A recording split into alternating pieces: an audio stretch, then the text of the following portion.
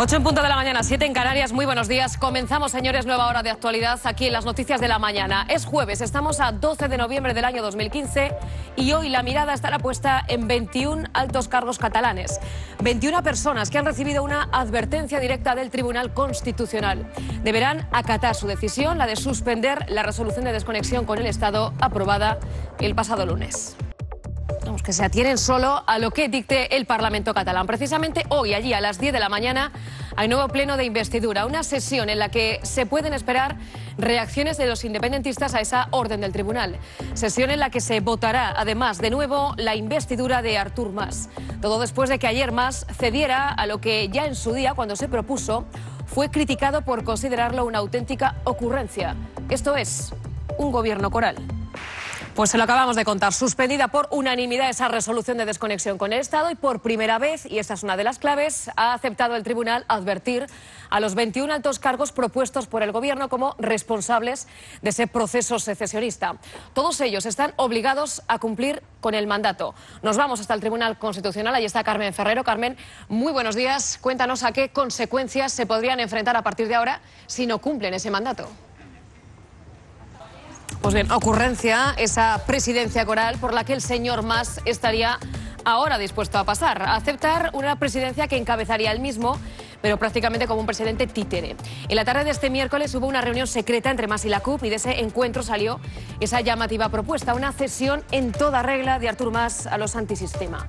Él ocuparía la presidencia, pero cedería prácticamente todo el poder a tres vicepresidentes. El más importante es este nombre, Oriol Junqueras, es el líder de Esquerra Republicana, un partido situado, como saben, a la izquierda de la izquierda. Y él llevaría todo el peso económico, es el vicepresidente económico. Raúl Romeva sería vicepresidente de Relaciones Internacionales, es decir, sería el encargado de llevar ese proceso de desconexión con el resto del Estado. Ineus Monté, que es la actual vicepresidenta, asumiría los cargos de asuntos sociales. Parece que esa propuesta no ha gustado a la CUP y hoy tampoco le van a dar su apoyo en el Pleno. Pues la agenda de la Casa del Rey precisamente viene completa en esta jornada de jueves. Copan buena parte de las previsiones del día. Reconocimiento a los embajadores de la marca España. A las 12 de la mañana los reyes don Felipe y doña Leticia van a presidir la entrega de las acreditaciones a los embajadores honorarios de la marca España en su sexta edición. Un acto que va a contar además con el ministro de Asuntos Exteriores José Manuel García Margallo, el presidente del BBVA Francisco González y el presidente del Foro de Marcas Renombradas Españolas José Luis Bonet. Y esta noticia es de interés para los coleccionistas. La que ven aquí en pantalla es la moneda conmemorativa del cuarto centenario de la publicación de la segunda parte del Quijote que se celebra en este año 2015. Se pondrá hoy a disposición del público y sale por un precio de 30 euros. La principal peculiaridad de esa moneda es que en la cara lo que vemos por primera vez es la efigie de los reyes Don Felipe y Doña Leticia. Y este jueves se celebra el Día Mundial de la Diabetes. La Federación de Diabéticos Españoles conmemora esta efeméride con un acto al que asiste el ministro de Sanidad, Alfonso Alonso.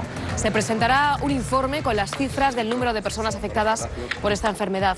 Dato preocupante, por cierto, porque aseguran los expertos que no deja de crecer.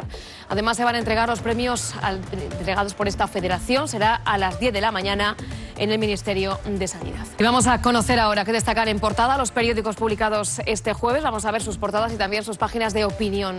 Titular destacado en La Razón, el Tribunal Constitucional suspende la moción soberanista y la Generalitat se declara en rebeldía. La imagen de portada es para los diputados de la CUP a la salida ayer de esa reunión que mantuvieron con Artur Mas, en la que, según señala este diario, cerraron un pacto por el que la CUP dirá Vamos ahora con la portada del diario ABC, con esta imagen, la de los 21 cargos del gobierno catalán y de las instituciones de esta comunidad que están apercibidos directamente por el Constitucional. El titular es este tribunal, añadimos es que quiera seguirlo. Vamos con el país. Escribe aquí, el Constitucional advierte de su ilegalidad a más y Forcadell. En el subtítulo recoge este esto destacado, la Generalitat promete seguir adelante a pesar de la suspensión de la declaración. El presidente cede poder para ser elegido en la votación de hoy jueves. La imagen, como ven, es para el presidente. Son las 8 y 29 minutos de la mañana. Hola de nuevo, les estamos contando todo lo que es noticia este jueves. Estamos a 12 de noviembre y hoy a las 10 de la mañana habrá nueva votación de investidura en el Parlamento de Cataluña. Este es el primer acto en el que veremos a todos los implicados en el proceso independentista juntos tras la decisión de este miércoles del Tribunal Constitucional de suspender la resolución independentista aprobada el pasado lunes. Ya hemos escuchado la versión oficial del Govern. La vicepresidenta en funciones, Neus Monté, ha dicho que solo van a obedecer los mandatos del Parlamento. Y hasta allí nos vamos a ir precisamente, hasta el Parlamento. Allí está Blanca Basiano. Blanca, muy buenos días. ¿Qué podemos esperar hoy ahí? ¿Qué ambiente se respira? ¿Algún gesto se puede ver de los independentistas contra el Constitucional? Y les vamos a hablar en unos minutos de la contaminación en Madrid. Es hoy noticia y les vamos a hacer una propuesta con la que no solo reducir la polución, sino también los atascos. Madrid acaba de estrenar un servicio de alquiler de coches eléctricos. Enseguida les vamos a contar cómo funciona para que puedan valorar si les interesa o no esta alternativa ecológica.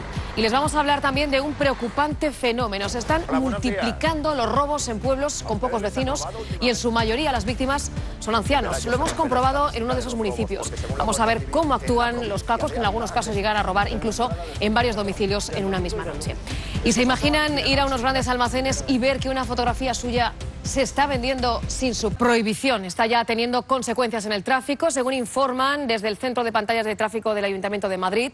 Esa carretera, la M30, y los accesos a la capital presentan circulación lenta desde primera hora de la mañana y se están registrando más dificultades de lo habitual a esta hora. Es la primera vez que el ayuntamiento ordena reducir el límite de velocidad en esta vía de circunvalación de la ciudad. Si la situación no mejora, se podrían aplicar otras medidas para restringir el tráfico, que por cierto ya se toman en otras capitales europeas.